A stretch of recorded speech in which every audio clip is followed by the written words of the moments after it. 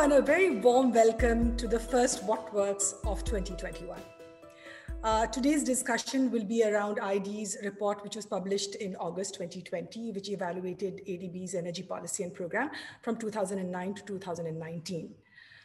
All of you would agree that for a country's economy to flourish, access to energy that is sufficient, efficient, secure, equitable, and environmentally and financially sustainable is absolutely crucial. So much progress has been made in improving access to electricity in Asia and the Pacific region. Even so, having said that, energy reliability and sustainability need to improve. While total energy supply and demand in the region has uh, more than doubled since 2000, the primary energy mix has not changed significantly, and it is still heavily reliant on coal and crude oil, affecting the long run sustainability of energy systems. So in this context, this sector evaluation of Asian Development Bank's energy policy 2009 provides what would uh, many would agree is a timely input to the formulation of a new energy policy and the ongoing sector transformation. And today's discussion will be around the key findings and recommendations of this report. For that, to give you a brief insight and an overview of this evaluation, I'd like to call upon the co-team leader of this evaluation, Alfredo, to come and make his presentation. Alfredo. Hi, hi Saleha, thank you for the introduction. Uh, good morning, good afternoon, or good evening, everyone, wherever you are located these days. Uh, we have prepared a very brief uh, presentation to introduce this panel. We have five key messages from this presentation. Uh, firstly, ADB has been the leading development partner in energy sectors on, of most DMCs in, in developing Asia, not only in volume, but also in terms of policy dialogue and partner coordination. Also, energy sector was the best was one of the best performing sectors in ADB, achieving 81% rate uh, success rate in um, in the last decade, from 2009 to 2019, which was the evaluation period. The energy program made significant contributions, mostly to increasing availability and reliability of power supply. However, fell short in a few uh, priorities outlined in the policy, which were demand side efficiency, uh, last mile electrification sector reform. In terms of ADB's institutional structure and its human resources, they've been found they were largely adequate to support the program. Nevertheless, uh, some improvements are needed to address cross-sector interventions. Uh, regarding the Energy Policy 2009, it has been considered relevant during the evaluation period. However, it's no longer suited to deal with the ongoing sector transformation that started a few years ago. Uh, ADB's new institutional priorities reflected in Strategy 2030, the current global consensus on climate change, and in particular, the use of coal as an energy source. So more in detail, we'll touch upon these uh, five uh, sections. We'll start with um, uh, a brief description of ADB energy sector assistance basically ADB um, financed $42.5 billion uh, during 2009, 2019 to support the sector. It was the second largest after transport. Uh, of this uh, 42.5 billion, 75% were sovereign lending to governments, whereas 25% was uh, non-sovereign to private sector um, companies to develop energy sector in, in DMCs. As you can see in the graph beside, um, electricity and transmission, transmission and distribution was the largest and dominant sector with about 40% of total lending. It was uh, followed by conventional and renewable energy generation. Uh, and in terms of, of regions, South Asia and Central West uh, Asia regions were the largest, and India in particular was the largest borrower with 18% of the total. And it was followed closely by Pakistan, PRC, Indonesia, and Bangladesh in that order. Regarding performance, um, as mentioned, the energy sector averaged 81% success rate over the evaluation period, outperforming ADB average and being one of the best performing sectors. Uh, Non-sovereign operations perform even better than that success rate. Um, one of the reasons is that power generation projects were the most successful because of their characteristics in terms of large chunky projects and many which were privately sponsored. However, sector development institutional reform was the subsector with less success mostly because it's facing political economy and legacy issues. Regarding results, the energy program was critical, again, in expanding and enhancing electricity supply, uh, mostly through large investments in power grid infrastructure. And also an increasing share of renewable energies in the region, being ADB one of the groundbreakers in, in, this, in this sense in many DMCs. And, but however, the program paid insufficient attention to access to energy for all uh, through new electricity connections or modern cooking, uh, demand side energy efficiency, energy sector reforms and improved governance, regional cooperation and increased resilience and climate proofing for energy infrastructure. Regarding organization for delivery and how ADB uh, supported the sector, we found that uh, ADB energy staff increased by almost half during the period, with a significant increase in the share of female staff, uh, as well as some decentralization to resident missions. The so-called one ADB approach has not yet been fully operationalized in the energy sector and also some others, although there have been recent improvements and collaboration across departments and divisions. ADB's transition to a knowledge bank remains a work in progress in the energy and other sectors as well. Knowledge creation is not that well disseminated across or outside the organization, uh, while the ongoing sector transformation requires massive innovation efforts. Uh, finally, the institutional approval culture has implications on project performance. However, there have been recent changes in project accounting, introduced readiness filters, and some performance indicators that may improve this situation. Regarding the assessment of the 2009 energy policy, the main findings are that the energy policy was indeed relevant and its three objectives align well with the needs of the DMCs at the time, Strategy 2020, the policies of other MDBs, and the climate change priorities, again, talking about 2008, 2009, when it was prepared. Now, the policy objectives address the main needs of the DMCs, such as the three of them were renewable energy and energy efficiency, uh, universal access to energy, and an efficient and financially viable energy sector. However, the policy's implementation guidance was a bit general, not useful enough as a framework for project selection. In fact, only one indicator had an investment target of clean energy. Uh, also, there is a disconnect between what the, formally, what the policy formally allowed in terms of um, and what ADB finally financed in practice since 2013 regarding the use of coal as an energy source. Uh, the current policy is no longer adequately aligned with the global consensus on climate change, particularly after Paris Agreement 2015, some recent changes in the energy sector DMCs, the transformation of the energy sector globally, and the new ADB's strategy 2030. To finalize, uh, the, the evaluation gave five recommendations, two of them strategic. The first one, ADB should revisit and update the energy policy by emphasizing climate change mitigation and adaptation as a core priority, particularly withdrawing from financing new added capacity of coal-fired power and heat generation plants. Also supporting DMCs to phase out coal-based energy in order to mitigate their environmental and health impacts in the exist of the existing coal fleet, and as well as introducing a sound screening criteria for other fossil fuels, particularly natural gas. Um, ADB should also place more emphasis on promoting a more active high-level engagement with DMCs in their energy sectors in order to help countries prepare their long-term sector plans. Also support DMC uh, climate commitments and priorities, especially in the aftermath of the ongoing coronavirus disease pandemic crisis, promote establishment of adequate, adequate institutional arrangements to build financially viable energy systems and expand regional integration as well. Regarding the last three recommendations, which are operational and organizational, ADB should increase support to address gaps in ADB energy operations in some key areas, which include sector reforms, demand side energy efficiency, as mentioned before, distribution network enhancement, renewable energy integration to improve long-term sustainability of, AD, of DMC energy systems. Another recommendation uh, supports the uh, ADB to expand energy operations beyond the power sector into cross-sector applications in order to meet the new energy needs of DMCs and also incentivize staff to work across sectors and divisions. The final recommendation says that ADB should increase the attention paid to knowledge creation and dissemination, innovation work, as well as cross-sectoral and enhancing quality and entry by revisiting incentive structures of staff and by strengthening internal and external collaboration channels. Thank you for your attention. This has been the key findings of the, of the evaluation. Thank you very much again. Over to you, Saleha. Thank you, Alfredo. That was uh, the co-team leader of this evaluation, Alfredo Baño Leal. At this point, I'd like to let you all know that both Alfredo and the co-team leader of this evaluation, Shireen Ibrahim, are going to be available. So in the designated question and answer session, which will follow up the panel discussion, please feel free to ask them questions. Of course, you can ask the panelists as well. And just to let you know that there's a question and answer box where you can put in your questions. You could also put on, turn on your video, identify yourself and ask the questions as well. Um, and a couple of other quick announcements I've been asked to make that uh, when I introduce the panelists, please turn on your videos at that point as well.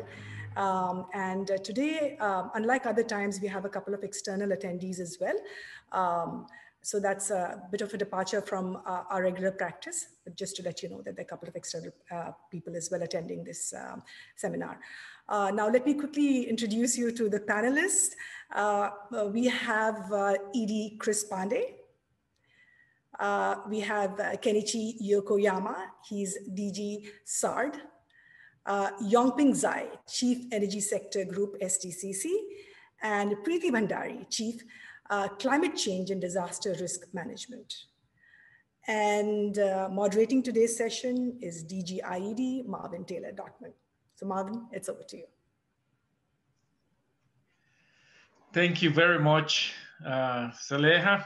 Uh, thank you very much uh, uh, to Alfredo and Shireen and to Director Subramanian for a very good and insightful uh, report that uh, is the basis for this uh, conversation. And obviously, thank you very much to the excellent panelists that are joining us this morning, afternoon, or evening, wherever uh, you are.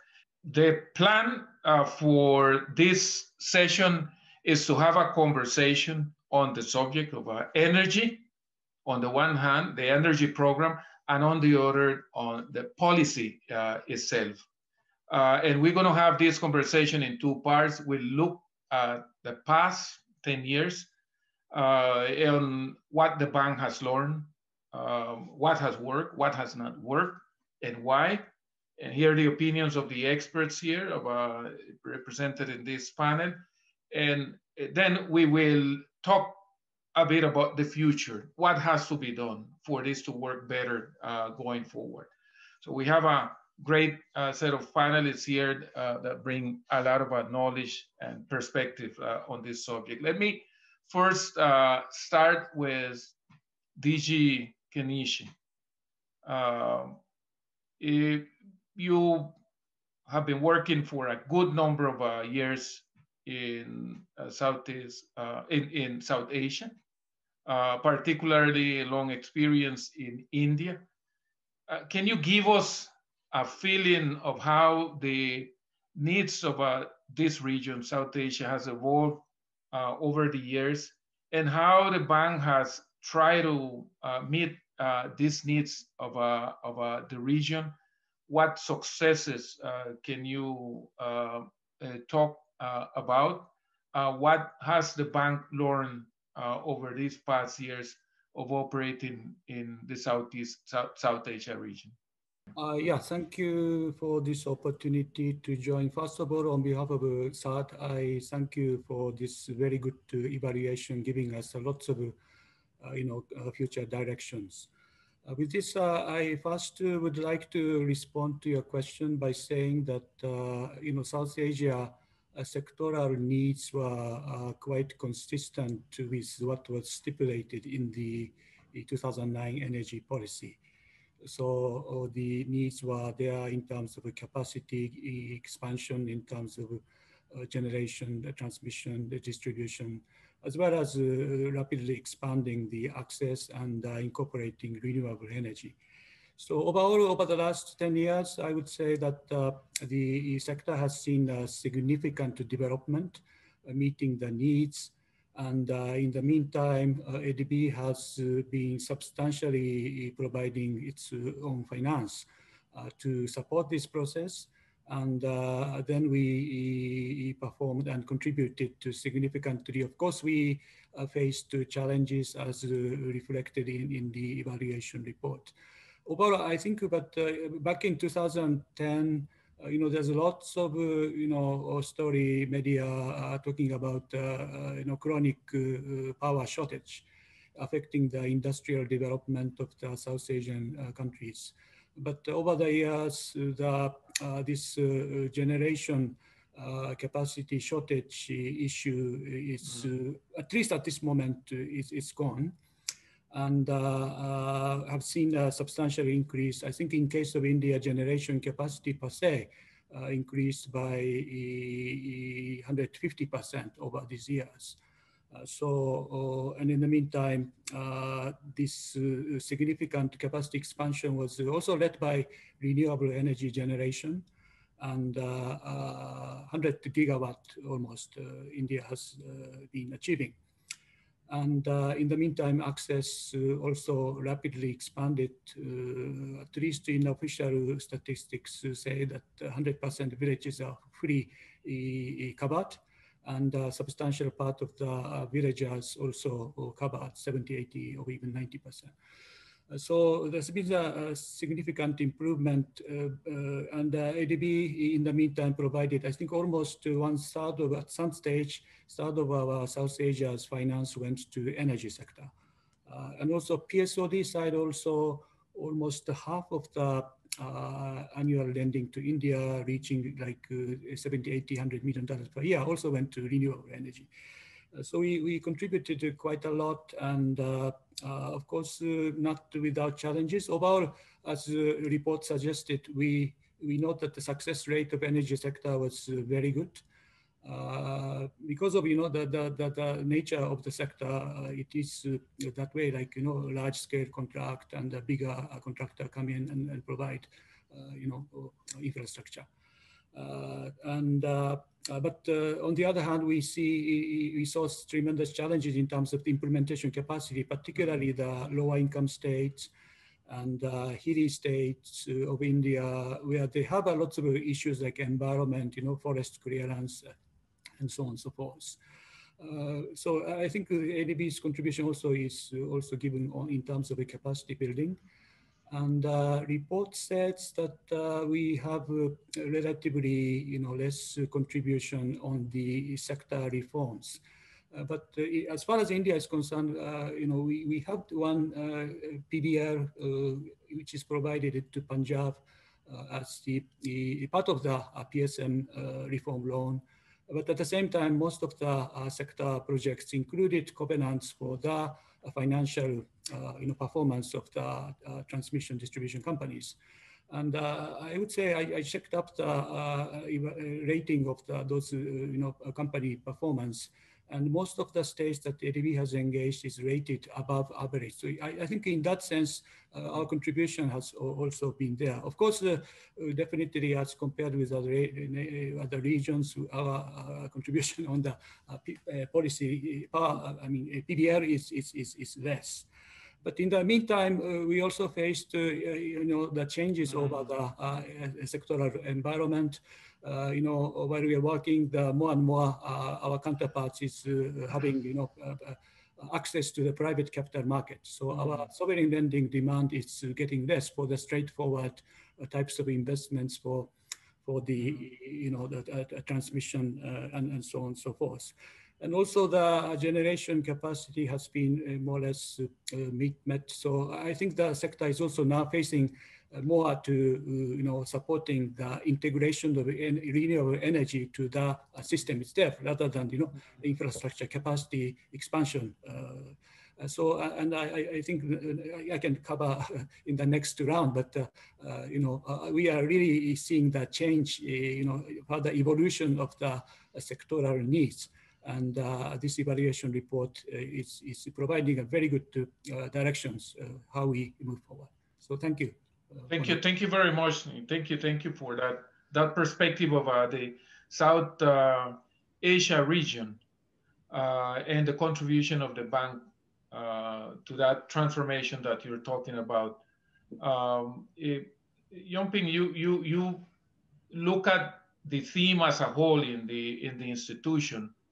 Um, from what you heard uh, that that uh, DG Kenichi's uh, talk, is that does that have a similar uh, resonance in the rest of uh, the region, uh, the rest of uh, South Asia Pacific region? Are there differences by sub-regions in which the bank struggled to contribute?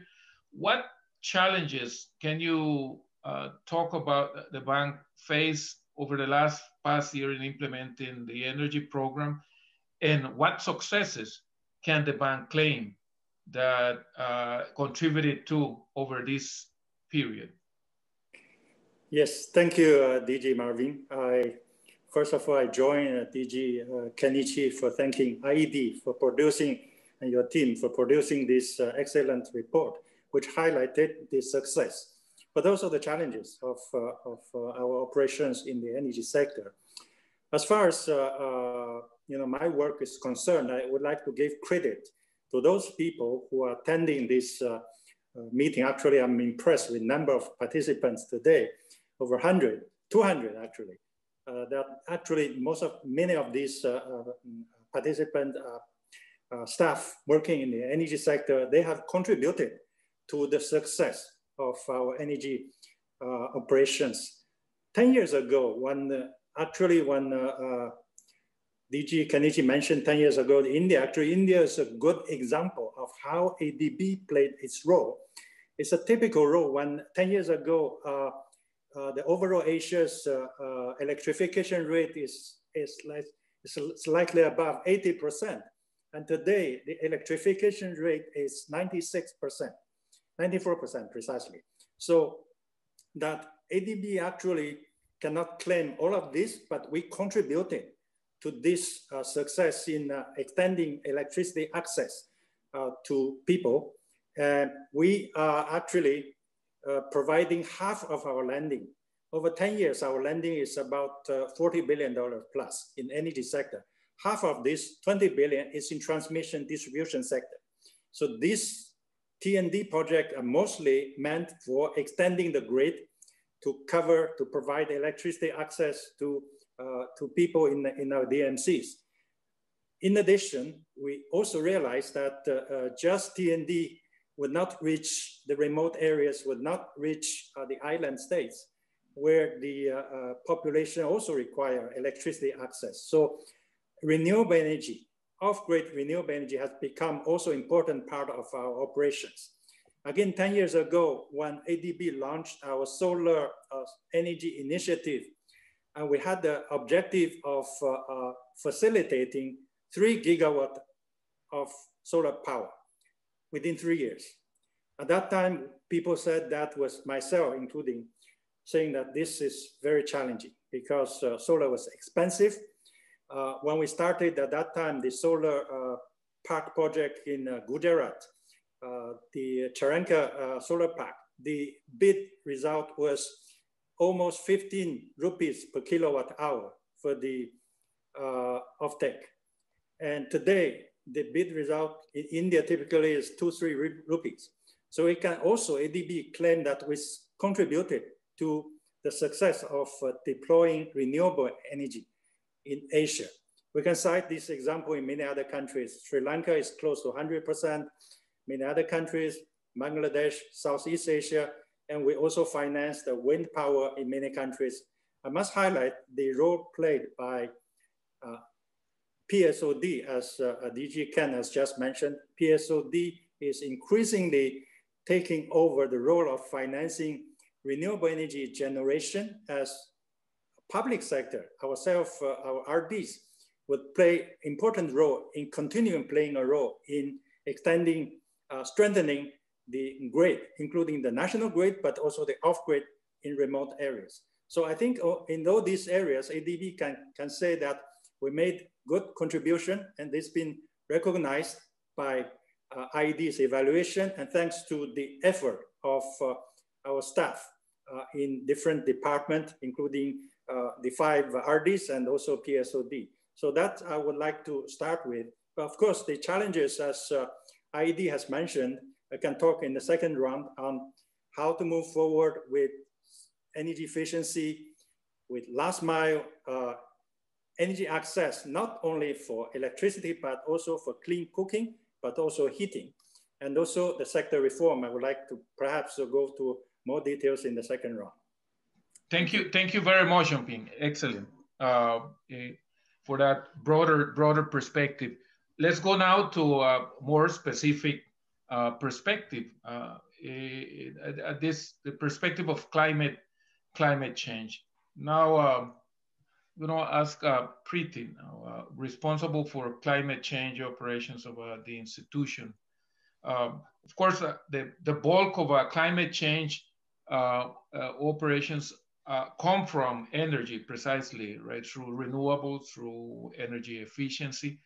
Uh, in what way can you uh, describe the contribution of uh, the energy program uh, to the objective of uh, climate change of the institution, and and particularly both on mitigation, adaptation, and what challenges have you seen uh, in the past uh, 10 years that the institution have been facing to achieve these objectives. Thank you, Marvin, and um, thank you for also uh, setting us on course with the evaluation of the energy sector. And later this year, you would also be uh, presenting the evaluation of the climate operations. So I think the energy sector review would feed in uh, significantly to to the climate change operations review as well. And we're lo looking forward to, to that report by IED as well. And uh, you very rightly said that, you know, energy sector uh, in the past uh, has contributed significantly to the mitigation objectives uh, uh, of not only our countries, but of ADB. And Yongping talked about you know, uh, starting at 2009, but I think it was as early as 2005 when ADB was, uh, I think, very progressive in announcing that we'll do 1 billion in clean energy investments as part of the energy efficiency initiative. And 2009, it was doubled to, you know, 2 billion. So that I, uh, in itself was very uh, forward-looking uh, by uh, by our organization to set that kind of a target to put us on course uh, for addressing climate change um, uh, and you know contribution of our countries to the to the problem. Uh, you recognize very well Asia's large footprint on this issue. So in terms of achievements, uh, that very clear pronunciation of, of a target for clean energy was important. And I must say, over the years, uh, you know, uh, the role that the private sector has played, as uh, both Ken and Yongping have highlighted, at one point in time, or even now, uh, the private sector operations are contributing to as much as one third of what we are doing as climate finance in the energy sector. So, so the they seized the opportunity and it was, uh, it was a very welcome development insofar as uh, ADB's contribution or assistance to our countries go. Uh, the third important point in terms of achievements was you, our energy sector kept in step with how the climate discourse was developing uh, in terms of you know what constitutes mitigation. Because at one point in time clean energy included greenfield natural gas and uh, when the mdbs you know uh, sat together to develop a methodology for what constitutes climate finance and what constitutes mitigation finance uh, greenfield natural gas was ruled out so, you know, uh, and then we, we brought that merger between climate and energy uh, typology and methodology. So those, in terms of achievements, those three are, you know, big achievements in terms of target setting, in terms of getting private sector involved and keeping in step with the evolving discourse on climate. Uh, but that was not without challenges. Uh, I may say the target setting, uh, be it related to energy sector or the climate target that we'd set out uh, in 2015 of doubling our climate finance uh, by 2020, while it did put the institution in the right direction, it also led to some kind of an obsession on metrics, the inputs. Uh, and I think we are now in that phase where we have started talking about impacts of our investments rather than, you know, what we have achieved in terms of dollar numbers. And that challenge, I think, was there in the last 10 years. And that is what we have to overcome in the coming decade if we really have to make a difference to move from input metrics to output and impact metrics. Uh, the second one, uh, again, as Ken said, you know, there was a shortage of energy supplies. So uh, there was a predominance of supply side investments, be it T&D or generation investments, uh, to the extent that energy efficiency and demand side uh, took, us, took a back seat.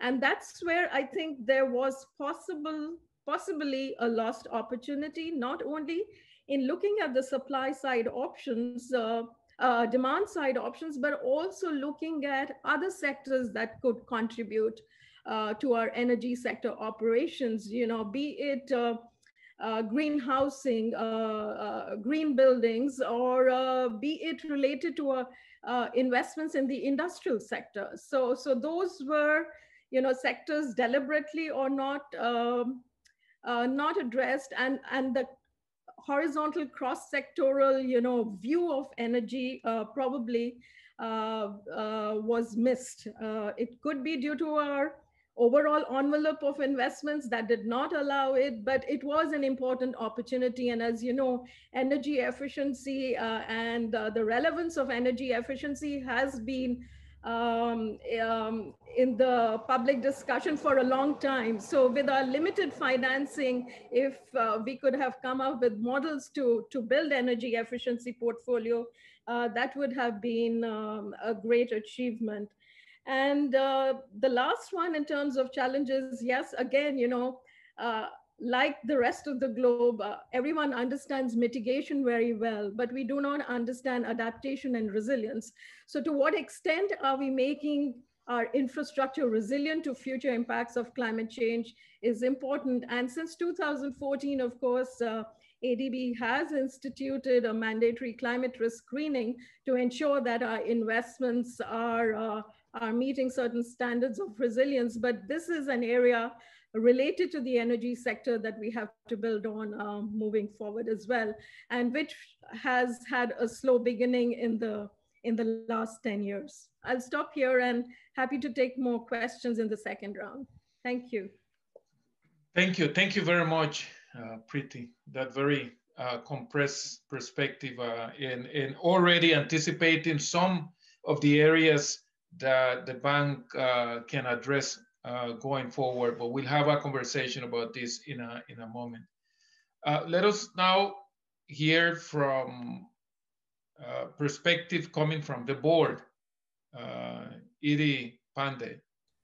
Um, you, you, let, let's talk, let's talk your own perspective, right? It's not the board itself, right? I know that, I'm sure you were going to clarify this, right? About as a, a perspective of a board member. Right. Yes, uh, thank you very so, much, Marvin. Uh, I can, I am quite creative and imaginative, but uh, attempting to summarize all the perspectives of all board members might be, might even challenge my capacity. Uh, and I also would not do it justice. So uh, I'll just start out with my, my simple remarks, which is to begin by thanking you and your team for the kind invitation to participate in this panel. Uh, I think I've said this already. This is a very valuable series of events, and I'm very pleased to be involved. Uh, I also want to thank, to thank the greater or broader IED and all the contributors for this very valuable and useful report, uh, which is uh, something that many of my constituents were awaiting with great anticipation. Uh, we've heard from colleagues and, and the, the co-leader described the efforts uh, that have, and the results. Uh, I'd like to offer my congratulations to all members of the bank, past and present, who contributed to these results. Uh, and of course, I would be remiss if I did not thank my fellow panelists uh, who have uh, clearly, in the context of a relatively brief period, uh, demonstrated the level of expertise and dedication that helped the bank deliver on its mandate uh, Kenichi and Yongping have given a very clear sense of the efforts involved, and Preety was articulate as ever about the challenges that remain.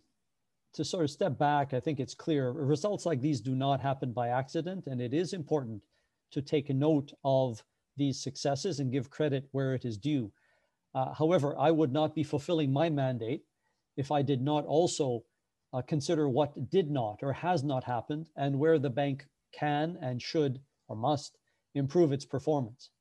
I won't go into the, uh, the details of the evaluation, but there were a number of areas where the program fell short. I don't think that is really a matter for much debate. If I were to be a bit provocative, uh, I would ask um, whether the shortcomings identified by the report are, are not just really uh, the flip side of our successes that we established ourselves and our competences in certain areas, had success, and then proceeded to bang out projects in a bit of a cookie cutter manner and declined or were unable to push ourselves or our clients in other areas that have become uh, increasingly important. Uh, I know that colleagues will be familiar with the old saying that to a man or woman with a, ham- with a hammer, everything looks like a nail. And perhaps we followed the path of least resistance uh, and fell victim to some of our successes. The energy sector, it's a bit of a truism, but it's clearly having to deal with incredible change uh, brought about by rapid uh, technological advances and pressing climate change concerns. Uh, standards and expectations have changed rapidly, and what we did in the past is unlikely to be satisfactory going forward.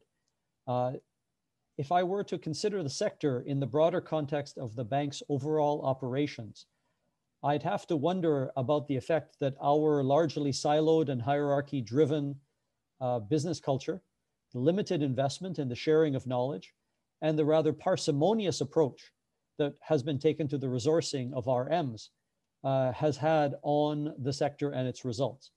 Clearly, some things were empowered and other things uh, either ignored or provided with a lower level of priority. And we need a more integrated approach to address all of the challenges and opportunities that remain. I note, however, that all three of the topics the, that I mentioned, the business culture, the sharing of knowledge, and the RM uh, resourcing, are now subject of major initiatives by BP, BPMSD, SDCC, and SPD. So I'm very hopeful for the future. Uh, here in Asia, we must acknowledge, as I think Preety has highlighted, must acknowledge our situation as the largest populated area on Earth, uh, with the largest demand for natural resources and the largest emissions of greenhouse gases. Uh, how the bank deals with this issue and supports DMCs in responding to these challenges will affect how the bank is perceived uh, and evaluated in coming years. I, I, think I'll, I'll leave it at that for the moment. Thank you.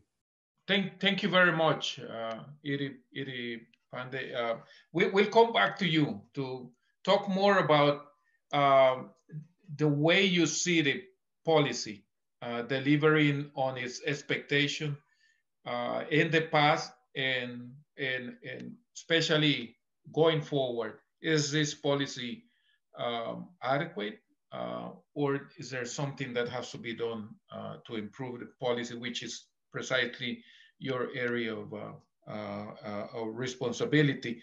Uh, but now let's let's talk. I know that there are uh, some some of the participants asking questions. They they will come soon uh, or on on on our own uh, screen. They will be posted by by our colleagues.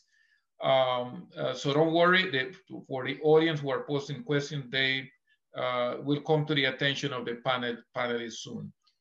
let us now talk about going forward. Uh, we've talked about what has worked, what has not worked, and overall, the the sense is that the contribution of the bank has been significant, although there are some issues that have been noted by, by you. That now we can uh, think of them, uh, this uh, having in mind uh, the, the forward perspective. So let, let me now start with the overall view um, eh, from uh, Ping. So if you now look at uh, the next five to 10 uh, years, what challenges do you see uh, for uh, ADB? Uh, what things have to be uh, improved uh, in the, the program that the bank will be putting in place? And what areas should be improved from the policy point of, point of view? uh, perhaps you can start referring to a fundamental issue uh, in know, this conversation as the role of coal, especially for Asia, right? The, the most intense user of uh, coal uh, in the world uh, for energy purposes. Ping, please. Thank you, DG Marvin. Uh, I will deal with this important issue on coal at the later part of my remarks, second round of remarks. I would like, like start with the vision moving forward five, ten years. what are the key challenges and needs for the region. I think IED report has highlighted some of them. We agree, management has uh, sent, it, sent responses to you. We agree with your analysis. We believe that, uh, that there is a need to update the energy policy given that the world today compared to 10 years, 11 years ago when the, the you know, prevailing policy dated 2009 was adopted. There are a lot of changes in technologies, but more importantly, fundamentally, the world is now uh, under this uh, uh threat of climate change. We have Paris Agreement. We have continued the role, uh, responsibility in providing uh, in poverty reduction. We have sustainable development goals, ADB, then have a strategy 2030. All these guiding principles should be the foundation of the new energy policy. Uh, this, we are going through a consultation process. I'm happy that even today's panel, I consider as a good forum to get inputs for our policy, uh, you know, uh, revision, updating, getting input, guidance from uh, ED uh, Kris. This is important to us. And recently I did, we conducted a staff review on this same question, what are the you know, key challenges and needs for the region and what will be reflected in the new energy policy? Over 100 staff, ADB staff participated in the survey. And we are analyzing, assessing these results and looking at these uh, uh, statistics, I see clearly that uh, the continued support in renewable energy, but also as uh, uh, Preety just mentioned, that energy efficiency should become more and more important. Actually, this is the first field in a way in meeting the demand, to making the demand more uh, rational so that uh, we can meet our uh, climate goal. This is very important, but I would like to say that the reason that in the last 10 years, even beyond, in the past uh, years, we are not very successful in energy efficiency project, very few success story although I can uh, give credit to uh, DG uh, Ken again for the success in India's case with energy efficiency project with EESL, but that example cannot cannot be replicated in many other countries. I think this policy should help us to prepare a framework that push us, help the staff, help the bank in meeting these uh, uh, specific challenges like energy efficiency. In doing so, we should look at not only uh, the, the principle, but also the structure, incentive structure, incentive schemes for staff to work in this. The bank as a, as a bank, we are a development bank, but we're still a bank. A, a bank usually gave credit to large volume. And this is, has not been an exception even for energy sector. We did a great deals and, you know, uh, give credit to staff for delivering loans. But in energy efficiency, we have to deal with multi-sectors, transport, building, in many other sectors, industry, and also we deal with individual consumers. So we have to adjust our way of delivering, uh, supporting DMCs in such project like energy efficiency, but also distributed renewable energy, any other emerging new technologies would have similar issues that bank has, as a bank has to evolve but also in terms of uh, our structure. In delivering energy efficiency project, we have to work with urban, we have to with the transport sector, education sector. So this would require some form of institutional changes in managing project, at least at the project processing level. So uh, I would like to see the policy would, new policy would not just give a policy direction, strategy, but also some specific ways of uh, working together across different sectors in delivering and meeting the challenges mm. like uh, energy efficiency. Uh, let me come back uh, now to the role of coal power generation. I, I think that uh, I, I, would like to mention this uh, in three dimensions. First, there is a policy decision that is up to board of director to agree, approve, on the recommendation as, for example, as recommended by IED, as uh, Alfredo just also mentioned. I think beyond a policy decision, I think we should also look at uh, uh, economic dimension that today, as I earlier mentioned that uh, the, the solar bid in India is two rupees uh, per kilowatt hour is cheaper than coal. In a pure economic sense, whether it still makes sense to invest in a sector that is already stranded, has no future. So, and this is an important dimension when we look at the future of our operations, uh, specifically for coal, maybe a little bit also for gas, we need uh, screening criteria to make sure that we are not stranded. But also there is a technology dim dimension. We would like to see whether there are technologies that can effectively decarbonize the sector, knowing that Asia is heavily dependent on fossil fuels. We need to have identified and support credible alternative technologies that can actually take our countries on the path, on track toward uh, low carbon transformation and even for carbon neutrality in future. Thank you. Thank, thank you, Yongping. Thank you. Um, we, we heard what you have uh, presented from the overall point of view and conceptual point of view, but this have to be delivered on the ground.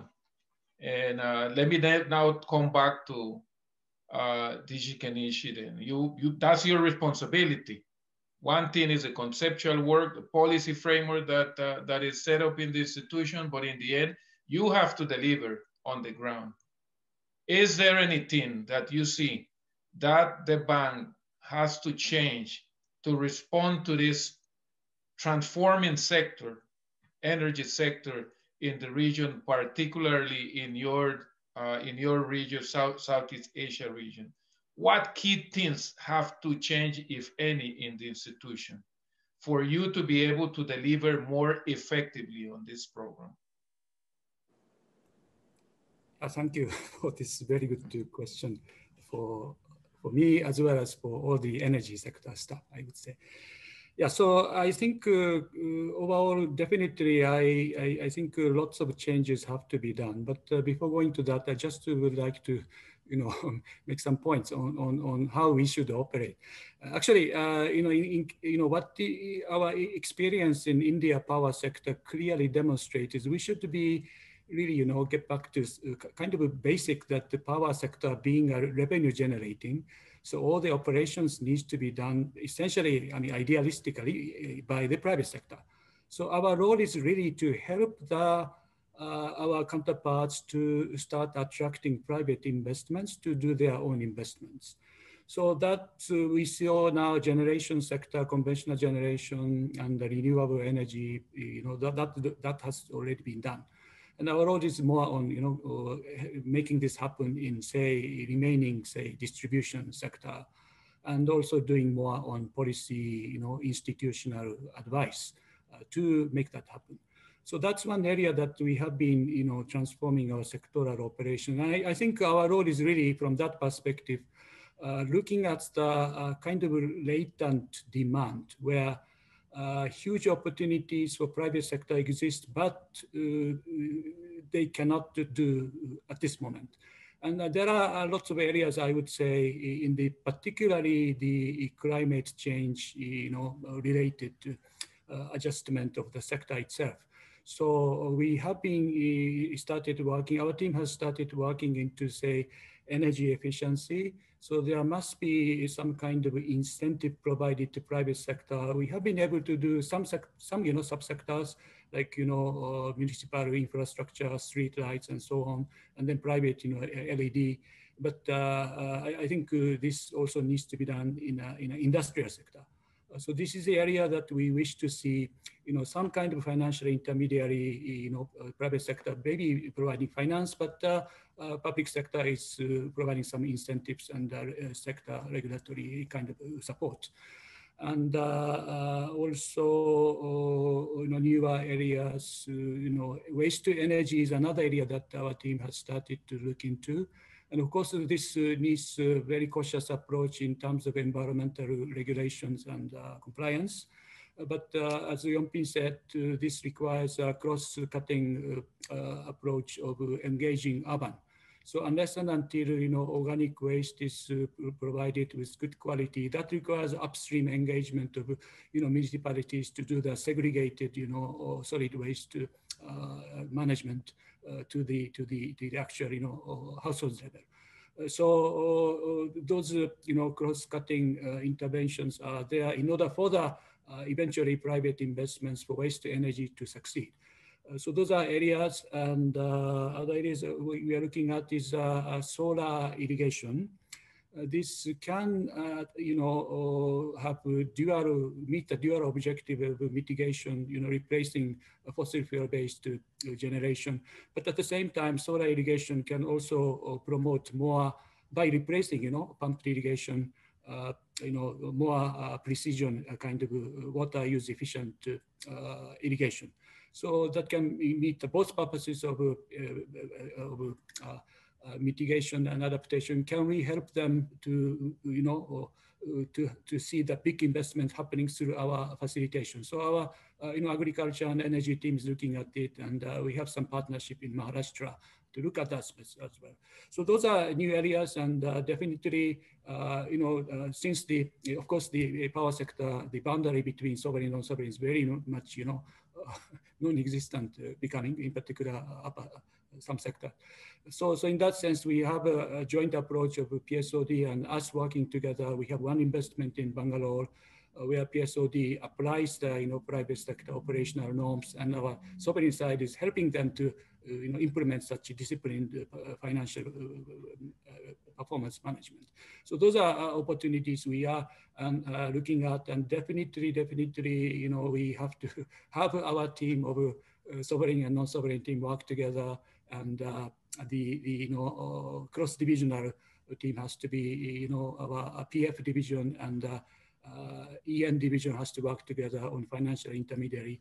So there are uh, challenges, but we, we try to, you know, make adjustment of our organizational, you know, arrangements and culture uh, that I think we would like to, you know, uh, you know, uh, use this opportunity of forthcoming, you know, cultural transformation, organizational, you know, reform, you know, RM empowerment. So th those are opportunities that we wish we wish to utilize this year. Thank you.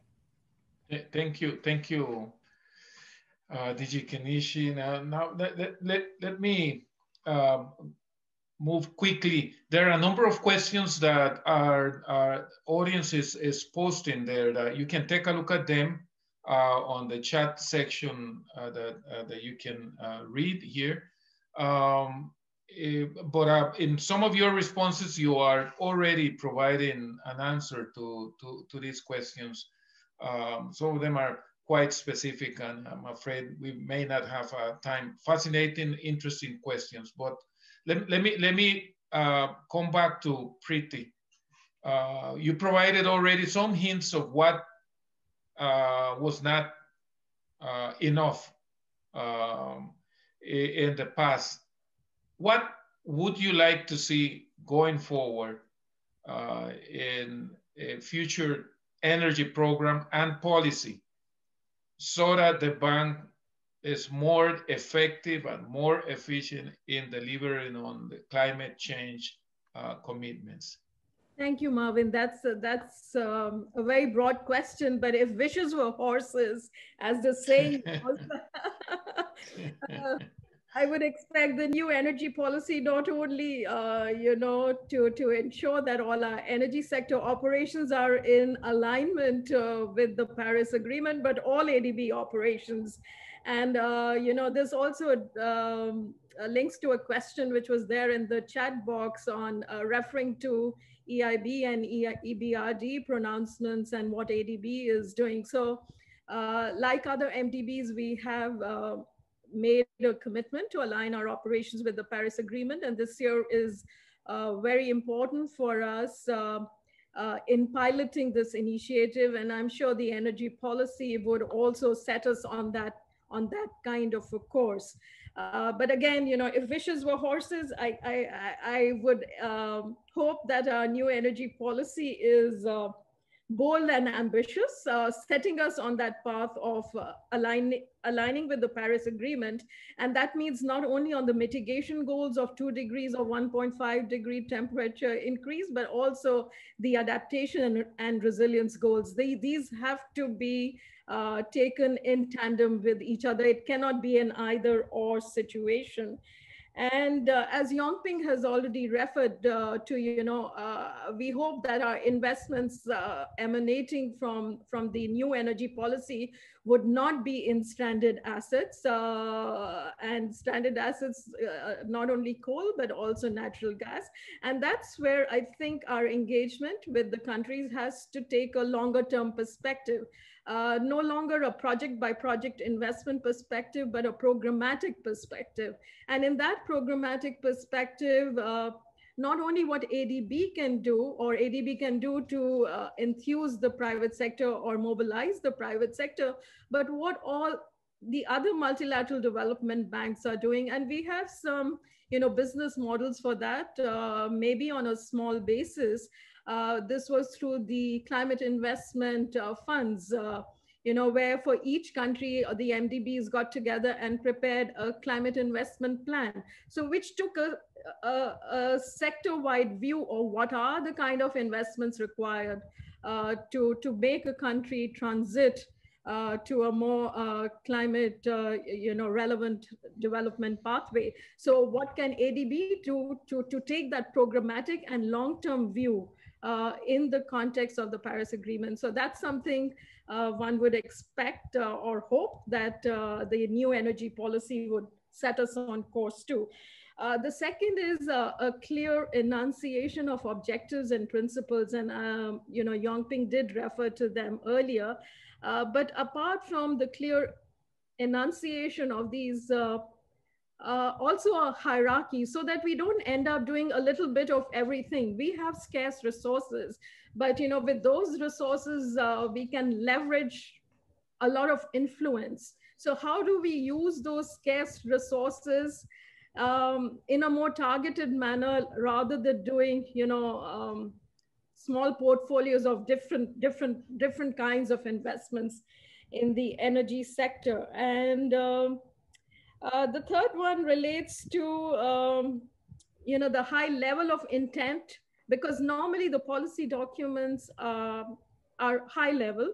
So that how that high level of intent would really set us on the course for transformational investments. Uh, and it's not only investments, it's also engagement at the strategy level. And there was a question over here, the chat box again, uh, you know, talking specifically about sector uh, regulations and uh, system efficiency, but it's, it's the overall sectoral engagement that we have at the country level.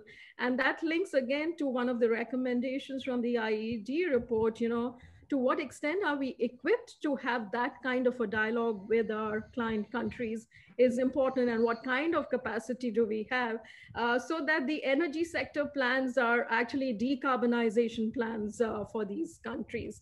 And of course the private sector the role of the private sector and how we can you know seamlessly now uh, build that in uh, such that the our energy policy gives that trigger is uh, very, very important to my mind. So I'll stop here, but uh, Thank you.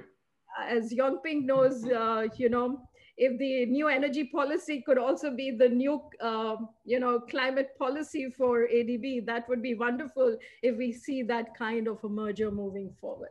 Thank you.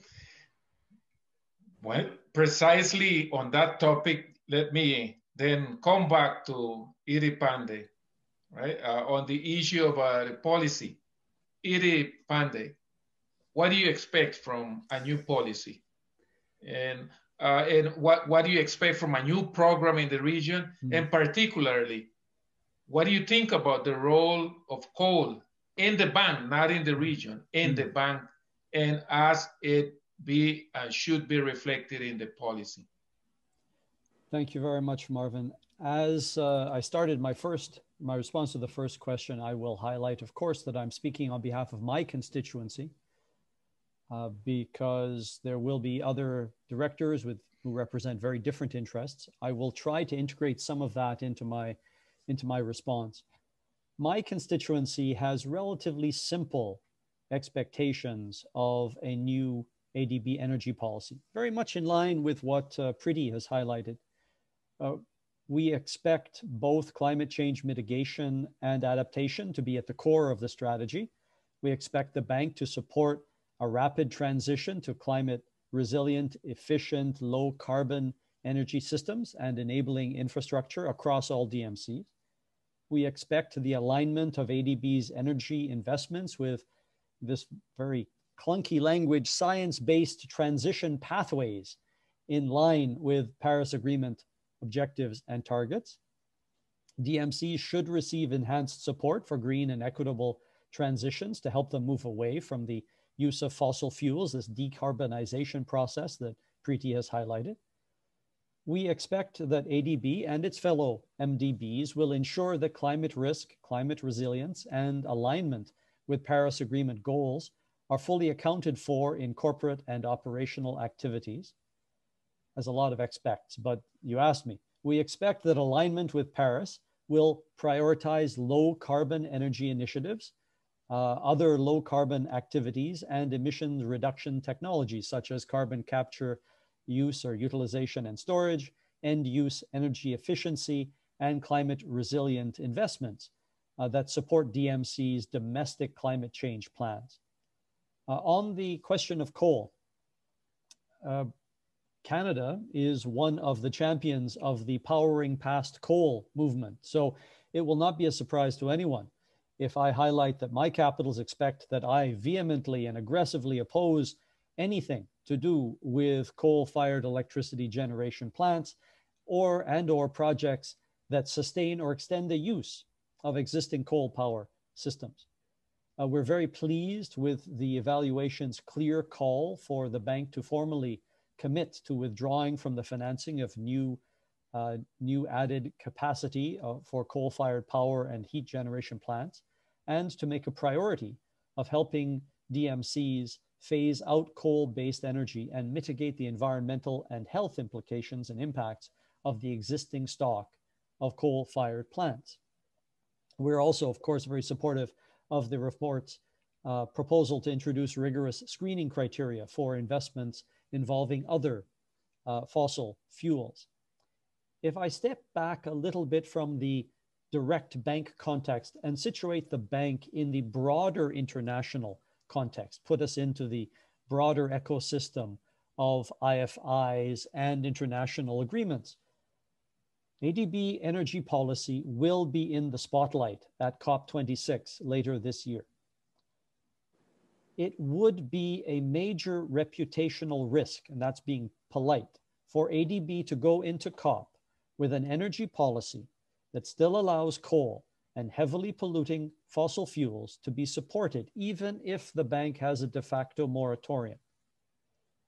I think that the, it's important to note that other MDBs uh, even our friends at the AIIB, uh, which is not necessarily known for being the most climate friendly of institutions, have adopted more progressive policies.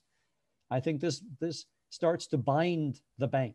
I don't believe that we can be a climate rebel in this context. And I certainly hope that the bank will do what is necessary in order to, be, to play a leading and ambitious role in the ramp up to COP26. Now, just to highlight that I'm not trying to be uh, a Pollyanna, just saying, oh, well, wouldn't it be nice? I, I, I note that the issue of a formal ban on the financing of coal projects uh, is quite a challenging one in the context of the board. And I would make reference simply to the DEC discussion of the energy evaluation uh, that took place last year, where board members expressed a wide range of views on this very topic. And as the saying goes, uh, you know, where you stand on an issue typically and often is based on where you sit. You've got energy suppliers and power plant builders and financiers seeing their interests as being based on a lengthy transition period, which uh, I would uh, term something perhaps like the St. Augustine approach, which is, oh Lord, give me chastity, just not yet. Um, and DMCs looking at their looking practically at their existing stock, their existing resource complement, their existing infrastructure uh, investments and wondering quite realistically how they can afford to make the transition to the green, low carbon future uh, that we all want. There's clearly a role for the bank in helping DMCs make this leap, but it will require perhaps more leadership and clarity of thought than has been evident um, across the last, uh, well, the period under review for the evaluation. Thank you. Thank you very much, Yuri Panday. Very, very clear, uh, very clear statement and, and, and, and thinking and position of uh, your constituency. Um, friends, colleagues, unfortunately, time uh, is up now. Um, we've gone a little bit, a few minutes beyond what we were uh, planning. Um, and uh, so uh, we have to let it go here. Uh, this is just the start of an important conversation for the institution and for the region. Uh, I'm not going to summarize here uh, what we have said or the, what the panelists have said, but evidently there is pride in what the bank has done over the last uh, 10 years. The bank has contributed to the transformation of the energy sector in the region and the view of all the panelists, something that is also reaffirmed by the evaluation. The uh, energy policy has played its role, but going forward, we have heard it from all the panelists. There are the important challenges and there are changes that need to be made in the region. Uh, the, both on the way that the bank operates and more importantly, uh, on uh, with respect to the policy. A lot of uh, expectations. We heard very strong words, uh, both from a board member and uh, from uh, management and experts in this field. Let's continue with this conversation. We thank you all for being with us, and let's uh, give the panelists a very, very uh, strong round of applause for their contribution uh, and their thoughts. Thank you all so very much. Have a great remaining of your day.